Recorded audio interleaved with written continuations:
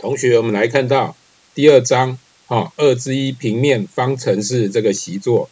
平面方程式当中，我们首先要知道平面的法向量。坐标空间当中有一个哦非零的向量，这个 n 向量是一条直线的一个方向向量，而这一条直线 L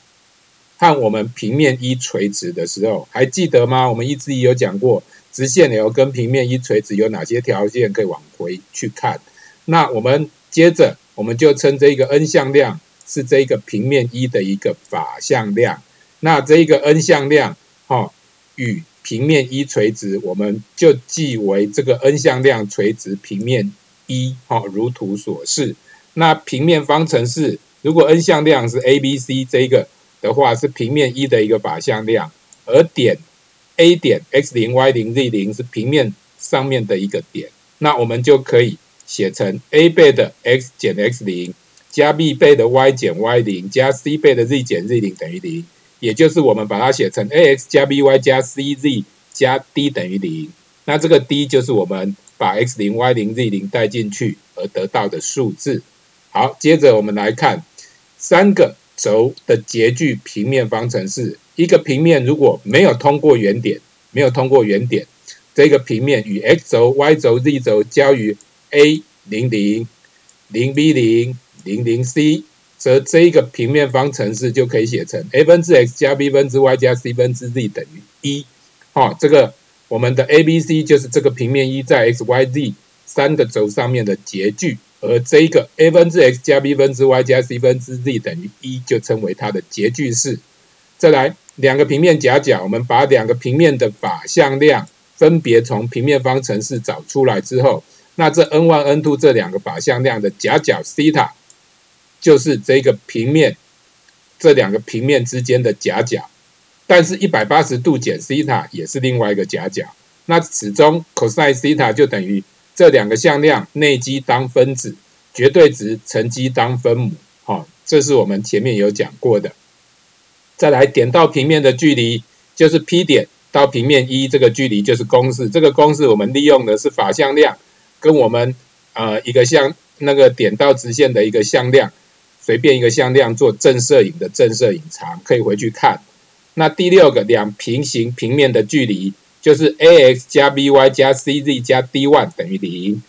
，ax 加 by 加 cz 加 d two 等于零。那这一个公式就是这边。好，接着我们来看基础题。要第一个要算平面方程式，有一个点，有一个法向量，用点跟法点法式啊，这样子来做就可以变出来了。那第二个 A 点在平面一的正摄影，也就是说 AB 这个向量就是它的法向量。那做出来的时候，AB 向量这个法向量，我们这个平面可以写成二 x 减二 y 减 z 加 d 等于零，再把这个 B 点带进去，把 D 算出来也可以，也可以用我们刚刚用的这一种方式算也可以。哦，在这边它是用两倍的 x 减四，再加上负二倍的 y 减负一，加上负一倍的 z 减二等于零，最后整理出来就可以得到。那第三个题目，两个点它们的垂直平分方程式，平分面的方程式，就是把 AB 向量做出来，AB 向量就是它的这个平面的法向量。A、B 的中点做出来，这个中点就在这个中垂面上面，有法向量跟有平面的一点带进去整理之后，就可以得到我们要的。好，再来看第二，呃，哎，再来看到第这个这个第三题哈，这个平面这个一通过这三个点，那平面一万的这个方程式，我们把 A、B 向量、A、C 向量做出来，那法向量是不是分别跟 A、B、A、C 两向量垂直？所以我们就 A、B、A、C 的外积。得到之后，这个外积就是它的公垂向量。那得到公垂向量又平面过这一个点，所以我们再把这个点带进去之后，得到整理之后得到我们这个平面方程式。那第二个题目，它给你三个点，这三个点分别是 x 截距、y 截距、z 截距的这些点所在的位置，所以直接我们就把它带我们的截距式就可以了。啊，你如果要画干净一点，你再把它一起怎么样？一起乘上十二，就变成六 x 减四 y 加三 z 等于十二，也可以。好，第四个，两个平面的夹角，好，一万的法向量是不是哎，这个什么 x 加 z 减六等于零呢？你就把它想成 x 加零 y 加 z 减六等于零，就是一零一。那平面 e two 的法向量是一负二二，好，所以我们就可以把它做出来。它们夹角的 cosine 值是根号二分之一，好，所以这个夹角一个是四十五度，那另外一个夹角就一三五度。好，再来下一个题目，平面 e one，平面 e two，e one e two 有一个夹角是六十度，求 k。好，平面 e one 的法向量跟平面 E2 的法向量分别给它造就出来。造就出来之后，我们再用我们夹角的 cosine 值去看。不过这边要小心，因为 cosine 六十度是正的，所以我们这一个夹角 cosine 值这里在算这个过程要加一个绝对值。为什么？等一下算可以有一些作为，这样算出来我们这个作为 k 好，刚好这个运气好，k 只有一个数字。通常这个平方 k 很多算出来会算出两个数字，哈，有可能会有两个解了，哈。可是在这个题目算的还不错。好啊，这个出的还 OK 之下，这个 k 最后得到之后，这个平面方程式就 OK 了。第二个一万跟一兔互相垂直的话，它们两个法向量的内积会等于零，直接就把 k 给逼算出来，就可以算这个 k 的值出来了。好，再来第六个题目，这个点到这个平面的距离直接套公式没问题。第二小题呢，它是另外一个问法，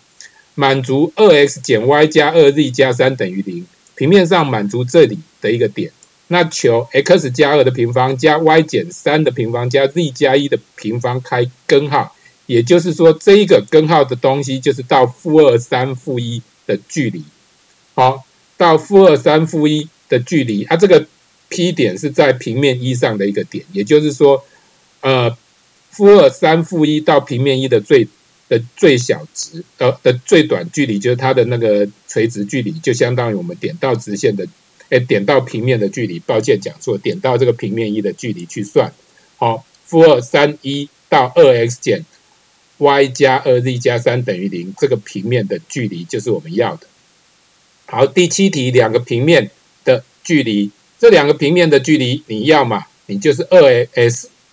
二 x 加二 y。减 z 减二分之五等于零，或是啊这里改成四 x 加四 y 减二 z 加十二等于零去做，好看你要怎么样？那我们用把 e two 这一个改成这里二配二，这里二也配二，这里负一配负一，好这样子等一下来做两个平行平面的距离就搞定了。好，第八个题目，平面 e one 跟平面 e two 平行。两个距离等于三，我们可以令平面的 e one 等于二 x 加三 y 减六 z 加 d 等于零，是不是差一个系数？那最后我们再用两个平行平面的距离去把 d 算出来，那这个平面就搞定了。好，第九个题目，平面 e one 通过这一个点垂直于 x 减 y 加 z 加十二等于零，与二 x 减 y 哎二 x 加 y 减二 z 加二等于零的两个平面。其实垂直于这两个平面，就相当于这两个平面的法向量跟这个平面一万的法向量是垂直的。所以我先把这两个平面的法向量 n one 向量跟 n two 向量分别做出来，再求 n one n two 的 y 积，就它们的公垂向量。而这个公垂向量就是平面，哦，平面的这一个一万的法向量。所以我们一万就可以定它为什么呢？x 加四 y 加三 z 加 d 等于零，或者是我们直接用我们刚刚讲的一四三跟 x 减一 y 减一 z 减负二内积等于零来做，好啊，这样最后就可以整理出一个答案了。那第二小题呢，我们可以知道这个平面 e two 通过这两个点，且与这个平面垂直。那我们先思考一下，AB 向量，AB 向量是平面法向量，好，跟它会垂直。那这一个平面二 x 加二 y 减 z 减四等于零，又跟平面 e two 垂直，也就是说这个平面的二二负一的这一个法向量，跟我们平面 e two 的法向量也垂直，所以我们 AB 这个向量跟 n 这个向量的一个 y 积，就是平面的这一个公垂向量或者是法向量，哦，它们的公垂向量就平面的法向量，那平面就可以写成。负四 x 减 y 减十 z 加 k 等于零，或者四 x 加 y 加十 z 等于 k，这样子去算嘛？看你呀。这样做出来，再经过整理之后，就是我们要的答案了。好，这是第九个题目。再来呢，第十个题目，A、B 这两个点，平面一通过这两个点，且跟它的夹角为六十度。哎，在这边大家看清楚，这个 A 点跟 B 点有一个有趣的地方，它们分别，哎，是不是在它的称为是 Y 截距跟 Z 截距的所在？不过我们要小心一点。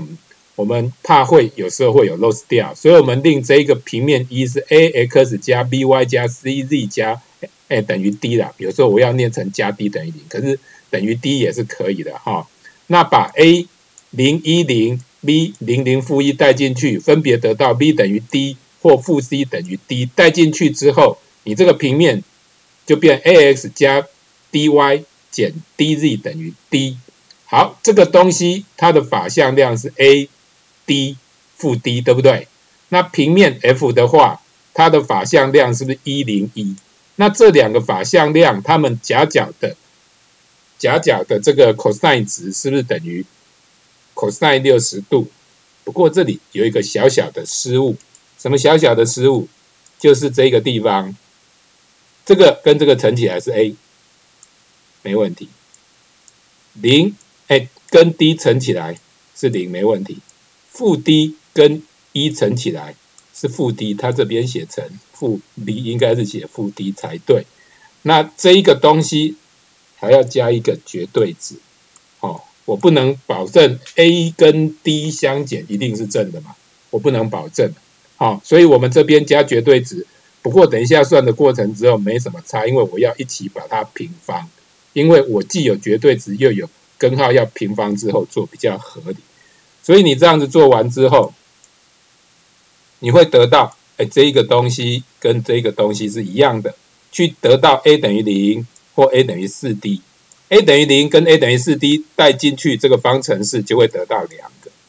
哦，分别是四 x 加 y 减 z 等于一，或者是 y 减 z 等于一这两个方程式。好，接着我们再来看第十一个，如下图长方体，这个我们就直接给它。坐标化，那平面这个 C F H A 点到这个 C F H 的这个距离，我们把它这些点都做出来之后，C F H 这一个我们要算它们的一个什么向量？这个平面的一个法向量，C F H 的法向量是不是分别把 C F 向量做出来，还有呢 C H 向量做出来？好，啊这个向量做出来之后，它们的外积。就是它的法向量，好，啊法向量之后，我们就可以把 C F H 的平面这个方程式给弄出来。那我们的 A 点到这一个的距离，就是我们最后要的。好，第一小题结束。第二个平面 C F H 跟这个 A B C D 的这个锐夹角，A B C D 其实就是我们的 X Y 平面，X Y 平面就是 Z 等于零，Z 等于零的法向量就是零零一嘛。好，所以我们把这个弄出来。我们就把刚刚的 C F H 这个平平面方程式跟 A B C D 的方程式弄出来，它们的法向量分别 n 万向量跟 n two 向量，而它们夹角的 cosine 值就用我们的公式绝对值，因为我要的是锐夹角，所以夹角的 cosine 值是七分之三。这是第十一题。那第十二题哦，十二题大家可以看一下，这十二题是一个非常非常啊有趣，会用到前面的。好，一个平面一通过这一个二四三，而它与 x y 轴 x y z 轴的正向正向正向正向这个分别交 a 零零零 b 零零零 c，那原点是 O，m 等于二 o a 加 o b 加三倍的 o c 这样子，其实两倍的 o a 就是两倍的小 a，那 o b 就是小 b，三倍的 o c 就等于三倍的小 c。那我们先来看看这一个。哎，a b c 给你这一个截距之后，我们基本上它的截距是是 a 分之 x 加 b 分之 y 加 c 分之 z 等于一。那我们这一个小 m 就是要算这一个二 a 加 b 加三 c，好，等一下要算它的最小值。那其实呢，这个东西 P 点又在这个平面上，所以我们把这个 P 点带到这个平面的 x y z 进去，就变成 a 分之二。加 b 分之四加 c 分之三等于一，对不对？这样带进去，我们第一小题就搞定了。第二小题呢，我们要算 m 的最小值，当 m 最小啊，第三题是 m 小值最小的时候，平面方程式。首先呢，我们这个是隐藏版的柯西不等式，因为我们柯西不等式一般都是一些平方和好跟平方和乘起来大于等于乘起来加起来之后的平方，对不对？可是在这边怎么样也没看到平方和，不过你要小心，它有正向这两个字，所以我们你可以从这边可以知道二 a。加 b 加三 c 就是这个东西嘛，两倍的小 a 加一倍的小 b 加三倍的小 c，是不是可以写成根号二 a 整个的平方，根号 b 整个的平方，根号三 c 整个的平方？哦，可以写成这样，哎，这边变成一个平方和的一个概念。那接着呢，我们还要来的是，我们刚刚有一个题目，哎，是不是有一个 a 分之满足第一小题嘛？a 分之二加上。b 分之什么四加上 c 分之三等于一，这是柯西不等式的一个隐藏版。为什么？这个也没有平方和啊，这个可以写成平方和，是不是可以写成根号 a 分之根号二整个的平方，根号 b 分之根号四整个的平方，根号 c 分之根号三整个的平方？因为这三个加起来都等，这三个加起来等同为一嘛，所以你这个相当于这个东西乘以一大于等于。这两个乘起来，啊，我换个颜色，大于等于这两个乘起来，好，再加上这两个乘起来，再加上这两个乘起来之后的整个平方，就是二加二加三整个的平方。那最后呢，是不是可以写成大于？哎，这个东西我们刚刚已经知道，这个等于一了嘛？这第一小题嘛。那最最后就变成二 a 加 b 加三 c 大于等于四十九，所以它的最小值是四十九。好，不过我们接着来看，如果等号成立的话，根号二 a 除以这一个等于根号 b 除以这一个，念起来很难念，等于根号 c 三 c 除以这一个，把它经过整理之后，a 跟 b 跟 c 的比例再做处理，是不是 a 等于 t，好，啊 b 等于二 t，c 等于 t，这样子做，这样子做完之后。再把这个 a b c 等于几 t 带到我们原来的这一个式子里面去解 t，解出 t 来之后，a b c 就有了。所以当 a 等于七，b 等于十四，c 等于七的时候，这个 m 等于二 a 加 b 加三 c 等于四十九，这个四十九是它的最小值，就如此嘛。所以当它有最小值的时候，哦，它这一个 a b c 有了之后，这个方程式就没问题了嘛。好。结束。